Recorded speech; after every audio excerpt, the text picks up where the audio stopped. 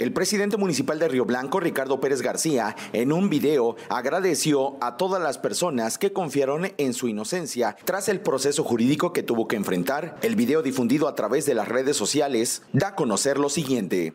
Quiero externarles mi más profundo agradecimiento por todas las muestras de cariño mostradas hacia mí, por sus oraciones que llegaron a oídos del Todopoderoso, en una de las pruebas más difíciles de mi vida como cualquier ciudadano, llevé un proceso legal del cual he salido librado por probar mi inocencia sin ningún beneficio como persona.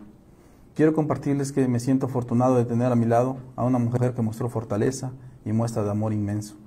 Gracias, Fabiola, por no abandonarme ni dejarme solo ningún minuto, desde que toda esta pesadilla empezó, por creer en mí, por demostrar en cada momento en mi inocencia y no dejar de luchar hasta lograr comprobarla a mis hermanos por todo su apoyo, pero sobre todo a uno de ellos por demostrarme que la hermandad no solo se lleva en la sangre, sino en el alma y también en el cariño sincero, que solo se expresa con acción y bondad.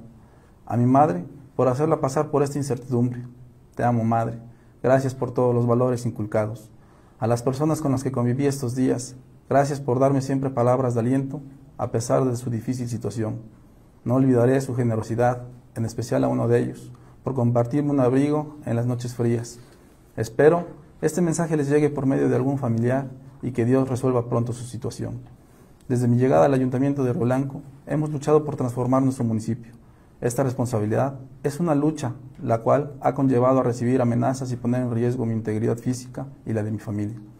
Agradezco el concepto en el que me tiene el gobernador hacia mi persona, como funcionario y como ser humano Continuaremos trabajando para que Río Blanco siga en la ruta del progreso. Será a partir de este lunes cuando ya reinicie sus actividades como munícipe y señaló que seguirá trabajando por la transformación en Río Blanco. Antonio García, RTV, más noticias.